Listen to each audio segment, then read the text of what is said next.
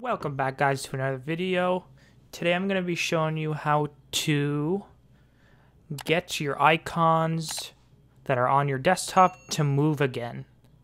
So I'll show you an example. So right now if I want to move it, it will not let me. It'll just let me adjust on the list itself.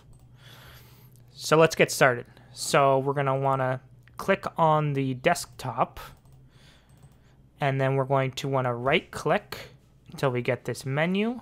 And from here we're going to go to view. And then we're going to scroll down to auto arrange icons. Auto arrange icons. We're going to left click on that.